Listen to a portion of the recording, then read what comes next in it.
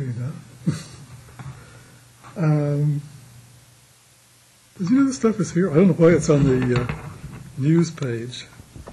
But on the, uh, on the main Gero page, if you click news, you've got uh, you've got Coldplay tune with an old dancer up here.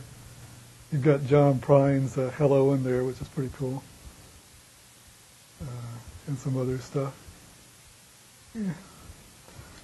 Anyway, uh, a couple. We're going to talk about the syllabus today. We're going to talk about uh, what assignments we want to do, sort of, and um, give you an overview of the class. We're going to talk about some about the history and uh, some of the theories in professional geropsych. Uh, go over uh, how to approach uh, criticizing, re- reading and criticizing research papers. And that'll probably take us at least four hours. So we'll see. We'll see how much of it we actually get done today. Um, so just some course planning kind of stuff.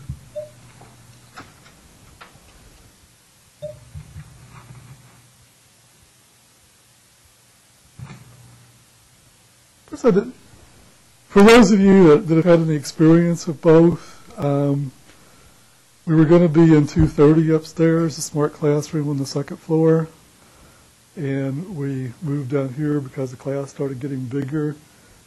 Now there's actually there's about 26 people signed up for this section of the course, and there's about 30 seats in room 230, which is why I thought we were probably better off down here. But if anybody feels like there's a really good reason to be up in 230 rather than down here, we could talk about that and we could move we could move upstairs next time and be cozy. Anybody prefer 230 for any reason? Want to say why? it's probably cold up there too. Can we do anything about the temperature, guys? probably. not. Besides the besides the Really? Let's try to aim for something in the middle. Is that possible? Okay. This has been a problem for the 20 years I've been at SC and just about all the, all of the classrooms. And one of the things, I think they finally like locked up all the thermostats because one of the things that will happen is one professor walks into a classroom and it's cold, so you turn it all the way up to try to heat it while you're there. So then the next class comes in and it's hot, and you turn it all the way back down and just keep, keep playing that game. Although overall in the last five years or so, they tend to keep like all the rooms on campus kind of cold. Um, a school that otherwise is kind of budget conscious, I've always wondered why that's true. Aside from temperature, is there any reason to go upstairs?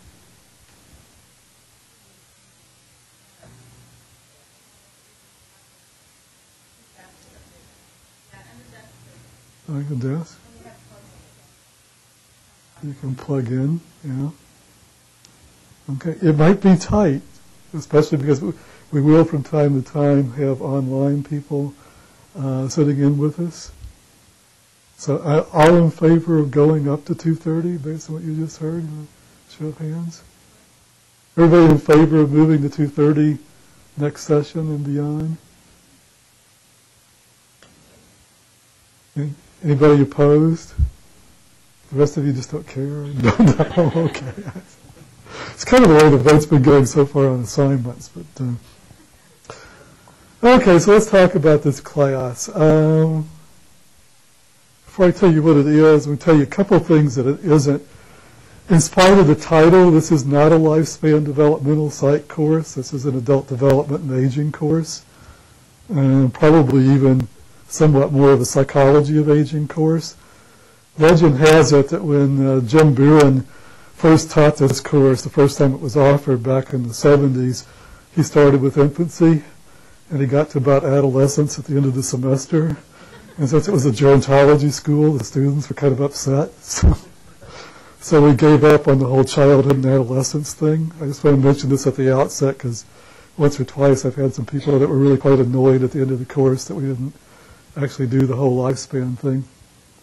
So we make up for all those other classes in the country that say their lifespan and they have like a session and a half on everything past age 18. So, um, the other thing, just make you aware of, is that this is not um, primarily a practice-oriented class in any way. This is about the, the science of psych and aging or the science of adult development and aging. We will talk quite a bit about um, how to think about applying that knowledge to practice and policy issues. Uh, but the practice course is actually the one that I usually teach in the spring, uh, 522, which is counseling older adults and their families. So there is such a class. There's a little bit of overlap, but uh, in 522, um, we sort of review most of the normal aging content in this class in the first lecture and then go on to talk about psychopathology and aging and then counseling theories and aging and a couple of other things towards the end. Um, that's also more of a didactic course than a skills course, but does give you kind of a good overview of um, both abnormal psych and aging and, and counseling, uh, counseling older adults and their families. We cover both individual and kind of family systems approaches to thinking about older adults. Um, this is uh, the original intention of the, the, core, and I think the ongoing intention of all the core classes, physiology, psychology, sociology of aging, and then the policy is kind of a, is a core, but gets more into the kind of policy and, uh, and program development kind of areas, is to give you a strong sense of what normal aging is like and the content areas of the constituent disciplines of gerontology uh, so that you can work from there as you think about uh, older adults and avoid some of the mistakes that people have made um, in the past about uh, uh thinking about aging based on only knowing uh, adults that have older adults that have serious physical or psychological problems. And um,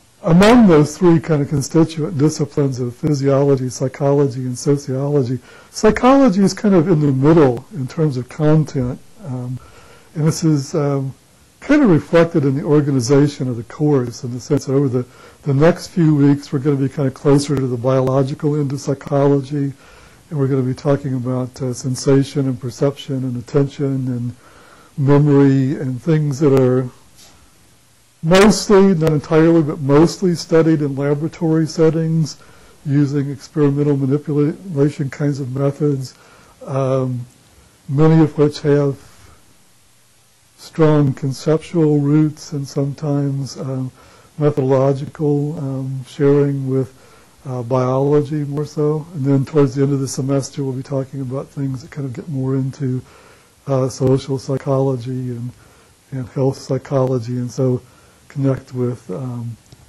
with social uh, sociology on that end. Um, Merril Silverstein and I in the building both have some interest in caregiving, and it's interesting as a as clinical psychologists go. I'm sort of more of a social psych-oriented clinical psychologist, and uh, Merril and Vern uh, kind of consider themselves to be social psychologists coming at it from the sociology side. So there's, there's kind of uh, overlap on the the sociology side in particular. Um, we particularly focus in the course on critical thinking and teaching you how to read research papers uh, critically and then think about the connection between the research and the practice. Um, I think it's pretty typical of most fields uh, that there's kind of a there tends to be sort of a division between the research academic theoretical arm and the services arm, and I think this is still largely true of services for older adults. Um, and I think some of the mistakes that we make, both in thinking about older adults and helping older adults, kind of comes out of not having a stronger uh, conceptual and, and uh, scientific uh,